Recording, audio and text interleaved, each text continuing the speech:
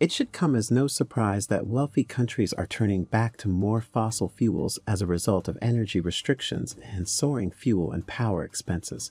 Germany is restarting coal reactors that were earlier set to close in order to counteract the slowdown in Russian gas deliveries and to restore clean energy lost owing to the suspension of nuclear power. Norway, the United Kingdom, and the United States are all increasing oil and gas output, while some European countries are even reusing gasoline oil to produce power.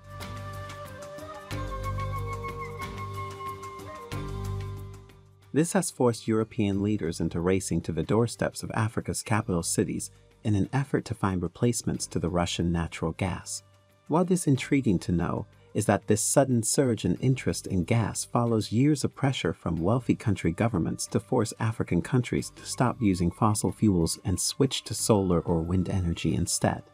But as Moscow has cut off natural gas supplies to EU nations, resulting in skyrocketing energy prices and the intensifying anticipation of a looming recession, Europe has been forced to scramble for alternate sources.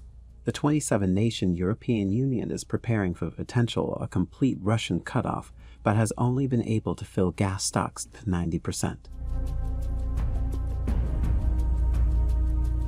For the African continent, perhaps this symbolizes a sense of hope.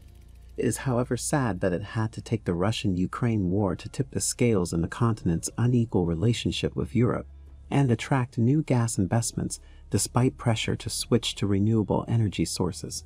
Many might argue that tactics used for war vary widely. Regardless, the world seems to be in trouble and Africa might be the hero that saves the day. Stay with fossils and experience a thriving and accelerated level of industrialization, which would benefit the world and boost continental economic progress, or transition to renewable immediately to contribute to the planet's safety. With that being said, it is essential to know that Africa contributes to just about 2 or 3% of global emissions but remains the most vulnerable. Owing to this, African leaders, like the president of Senegal, Macky Sall, want their nations to profit from these projects even as they are being discouraged from pursuing fossil fuels. Given that an estimated 600 million people in Africa lack access to power, Africans are not too enthused about exporting all of it either. It is legitimate, fair, and equitable that Africa, the continent that pollutes the least and lags furthest behind in the industrialization process should exploit its available resources to provide basic energy, improve the competitiveness of its economy, and achieve universal access to electricity, Sall told the UN General Assembly last month. En outre, il est essentiel que les pays membres du G5 Sahel bénéficient d'un appui conséquent. Leaders of Poland and Germany have jetted down to the continent to assess the viability of the barely completed new liquefied natural gas project, which is about 80% done, and located on the western coast of Africa. The president of Poland traveled to Senegal in September to look for gas deals, while Olaf Scholz, the German chancellor, who recently confessed to the German parliament that in order to address Europe's energy crisis and adhere to commitments to reduce greenhouse gas emissions, cooperation with nations where new gas field development is feasible was necessary, arrived in May to pursue the same interest. The initial field near the coasts of Senegal and Mauritania is anticipated to hold roughly 425 billion cubic meters of gas, which is five times more than what gas dependent Germany used for the entire year 2019. Nevertheless, it won't likely begin to produce until the end of 2023.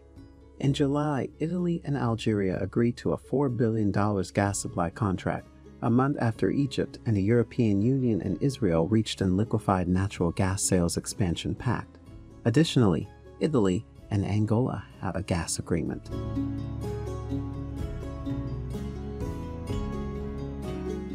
Analysts noted that because the July agreement was vague, it was unclear when flows would begin, despite an earlier agreement allowing Italy's largest energy company to begin production at two Algerian gas fields this week. This has triggered experts like the energy advisor for Senegal's president, Mamadou Fall Kane, to state that the war has forced a U turn and changed the narrative.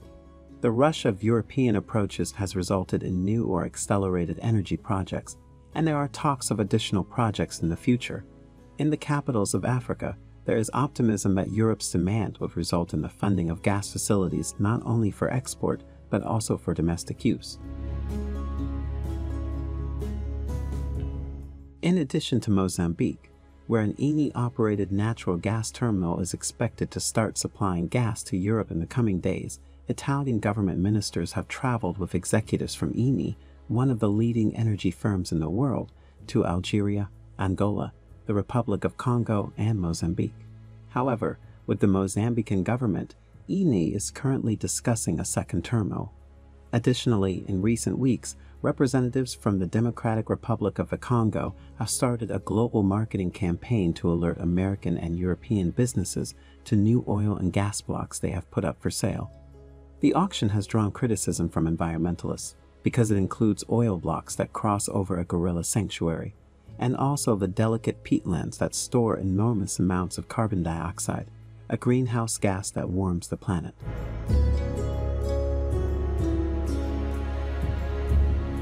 Mahfoud Kaoubi, an economist and expert in energy issues at the University of Algiers, said that while Algeria is a significant supplier and along with Egypt accounted for 60% of the natural gas output in Africa in 2020, it is still not in the position to offset Russian gas to Europe.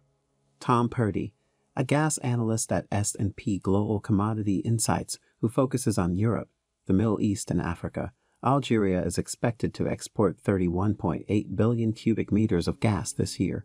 According to Purdy, given how much gas Algeria consumes domestically, the key concern revolves on the level of production step up that can be realized and the impact domestic demand could have.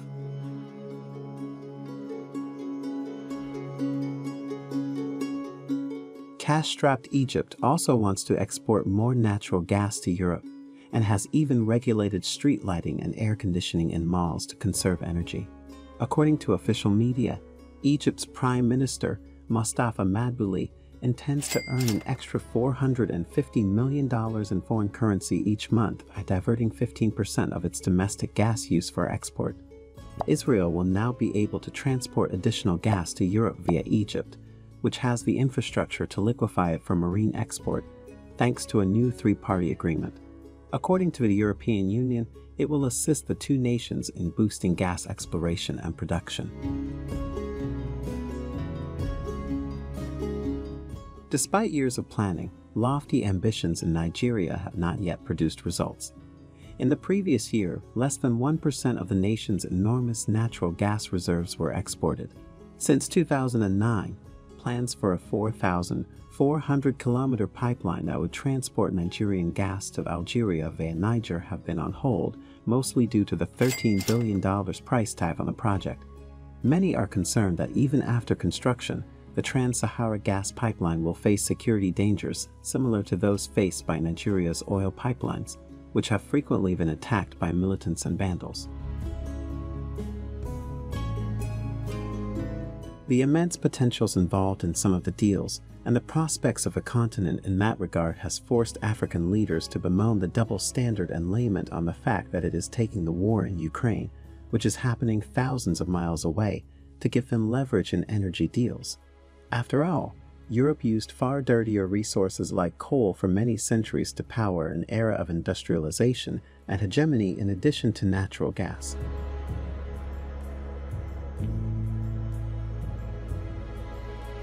Their main complaint is that despite the climate crisis and the imperative for the world to reduce its use of fossil fuels, less developed countries should be allowed to burn more gas in the upcoming years because their people deserve better living standards and greater access to dependable electricity and other necessities. But according to Africa's leaders, it is now far too expensive due to lending from Europe and other countries. Rich nations made a commitment to stop funding global development for gas projects at the COP26 climate summit last November, which may have an impact on investment in downstream energy infrastructure such as the production of fertilizer and electricity. Additionally, several Western nations are putting pressure on the World Bank and other development organizations to avoid funding any projects involving fossil fuels. Also, Norway, Sweden, and other states have proposed an outright prohibition by the end of 2024.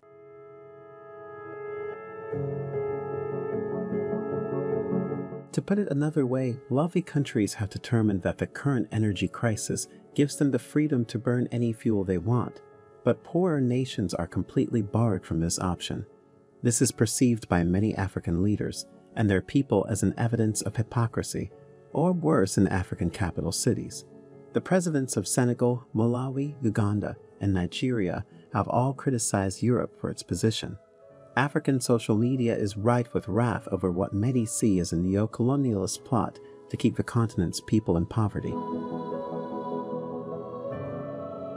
Rather, European politicians have frequently appeared to lecture Africans on the need to cut back on carbon dioxide emissions while offering nothing in the way of funding to support the development of green energy options, all the while continuing to produce far more carbon dioxide than Africa.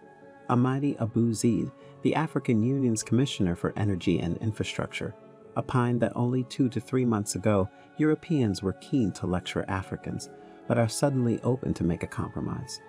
We are trying to survive, but instead we are being infantilized, he bemoaned. Africa has never been a climate denier. We always uh, acknowledge that being also the hardest hit the frustrations of the inhabitants of the continent is reflected in a political cartoon created by a Tanzanian artist by the name of Gado, following John Kerry's remarks last month at an environmental conference in Senegal. In the parody cartoon that characterizes his speech, Mr. Kerry is shown standing at a platform and making a statement that is reminiscent of the lecture that many African leaders believe they have been receiving from Western colleagues. He smiles as he stands next to billowing American flags and says, well, guess what, folks? Mother Nature does not measure where the emissions come from. We are all responsible for this.